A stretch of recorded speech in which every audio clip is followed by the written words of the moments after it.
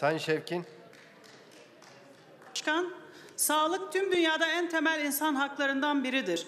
Ağız ve diş sağlığı da böyledir. Diş hekimlerinin büyük sorunları vardır. Sürekli ayakta çalışma nedeniyle pek çok sağlık problemi yaşamaktadırlar. Kamudaki diş hekimlerinin maaş katsayıları yeniden düzenlenmeli ve sayıları arttırılmalıdır. Özel sektördeki diş hekimleri SGK'lı olmasının önü açılmalıdır. Adana'da kamuda sadece 4 çene cerrahı bulunmaktadır. Bu sayı arttırılmalıdır. Ülkemizde 2500'e yakın işsiz diş hekimi sağlık sistemine dahil edilmeli ve cezaevleriyle yurdun her bölgesinde kamu hastanelerinde diş hekimi sayısı arttırılmalıdır. Türkiye'de 104 diş hekimliği fakültesinde 700 e, DUS e, kontenjanı bulunmakta. Bu oldukça yetersizdir. Bu sayı arttırılmalı. 0-14 yaş arası çocukların koruyucu diş hekimliği hizmetlerinin özelden yapılmasının önü açılmalıdır. Yine 15 yıl odaya kayıtlı olan yeşil pasaport verilmesinin de önü açılmalıdır.